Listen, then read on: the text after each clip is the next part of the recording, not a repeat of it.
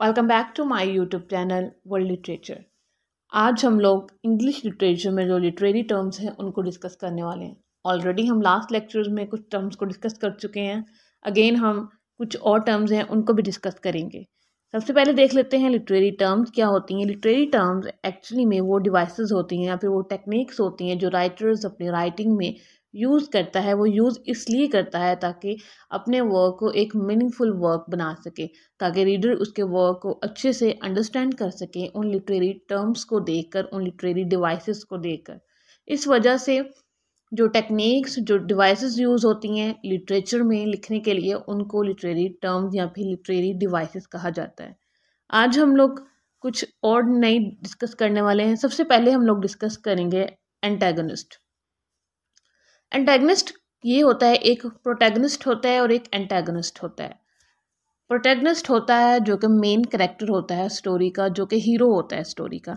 But antagonist वो होता है जो कि मेन करेक्टर को अपोज करो अपोज करे, उसके अगेंस्ट हो। जैसे कि स्क्रीन पर है अ करेक्टर और force in a story that opposes और works against the goals of the protagonist main character protagonist होता है किसी भी स्टोरी का हीरो या फिर मेन करेक्टर अब उसका जो अपोजिट पर्सन होता है, जिसको हम लोग विलन कह सकते हैं, जो कि मेन करेक्टर के अपोजिट अपना जो रोल है, वो प्ले कर रहा होता है, उसको एंटागनिस्ट कहते हैं। नेक्स्ट है एंटी हीरो एंटी हीरो वो होता है, जो कि जिसके अंदर वो प्रोटैगनिस्ट हो मीन्स के वो मेन करेक्टर हो, मगर उसके अंदर हीरो वाली क्वालिटीज़ ना हो।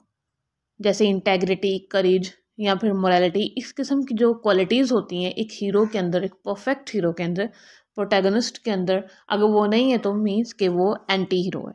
अब है एंटीथीसिस एंटीथीसिस एक ऐसी टेक्निक है जिसके अंदर दो पैरल ग्रामेटिकल स्ट्रक्चर को यूज़ किया जाता है और दो अपोजिंग आइडियाज़ दिए जाते हैं।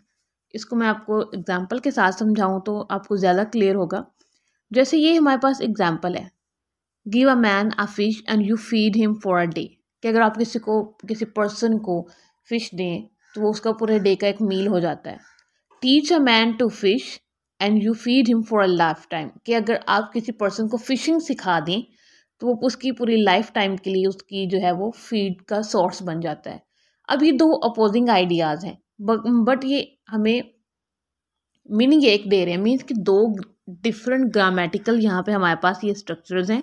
दो डिफरेंट सेंटेंस है, जो कि हमें मीनिंग जो दे रहे हैं, एक स्पेसिफिक मीनिंग दे रहे हैं अपोजिंग आइडियाज़ के साथ।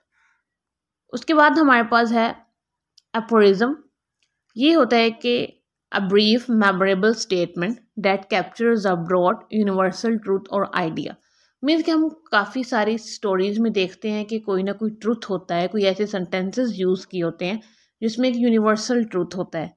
जैसे कि early to bed and early to rise makes a man healthy wealthy and wise ये एक यूनिवर्सल ट्रूथ है। Second go God helps them that helps them ये भी एक यूनिवर्सल ट्रूथ है।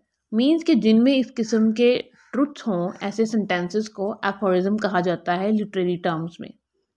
देन हमारे पास है एपोस्ट्रॉफ एपोस्ट्रॉफ क्या होता है कि ये एक ऐसी डिवाइस होती है लिटरेरी डिवाइस जिसके अंदर स्पीकर जो है वो एड्रेस करता है ऐसे पर्सन को जो कि एबसेंट हो और डेड हो।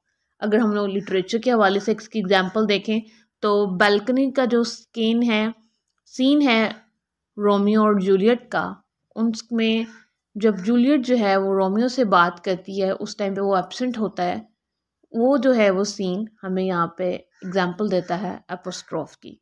ये थी हमारी कुछ लिटरेरी टर्म्स जिनको हमने डिस्कस किया है। होप कि आपको ये लिटरेरी टर्म्स क्लियर हो चुकी होंगी। वीडियो को लाइक और शेयर और चैनल को सब्सक्राइब कर दीजिएगा। Thank for watching my channel